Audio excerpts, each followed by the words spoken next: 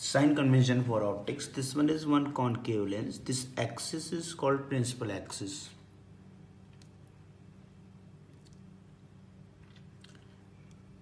And this is pole of a mirror.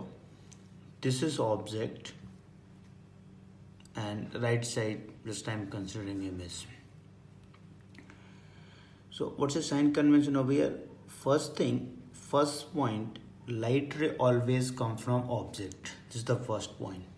Second point all distances measured from pole of a mirror. Means you will measure all distances from here.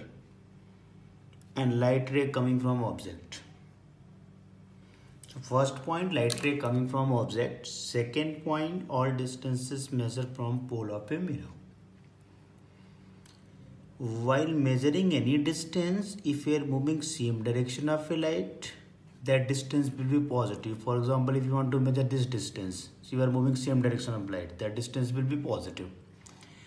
While measuring any distance if you are moving opposite direction of light that distance will be negative. For example if you want to measure object distance you are moving this side. It means you are moving opposite direction of this light ray. So that distance will be negative. Height above principal axis positive. Height below principal axis negative.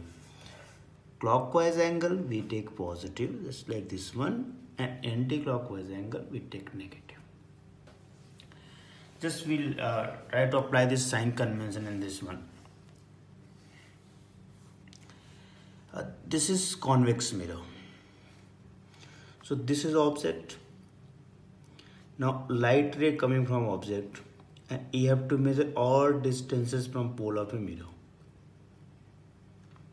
So while measuring object distance, you are moving right side, but you are moving opposite direction of light ray. So object distance in this case, it will be negative. Even this object is right side, but object distance will be negative. Because you are moving in direction of a light ray. Because light ray always come from object. So light ray coming from object you are measuring distance from pole so you are moving right side. Right side means opposite direction of light ray. It means object distance in this case also negative and in this case also negative. It's not like left side negative right side positive. While measuring any distance if you are moving same direction of light ray that distance will be positive. Opposite direction of light ray that distance will be negative. Now in second diagram if you want to measure object distance light ray come from object and you have to move right side. But you are moving opposite direction of light ray so object distance will be negative. Here let's say image forming at this point. So you have to move this side to measure image distance. This side left side. But it in same direction of a light ray. It means that distance will be positive. Height above principal axis positive below principal axis negative means uh, what I am telling it's not like left side negative and right side positive. Any side can be positive or negative. Only thing in direction of light ray we take distance as positive and opposite direction of light ray negative.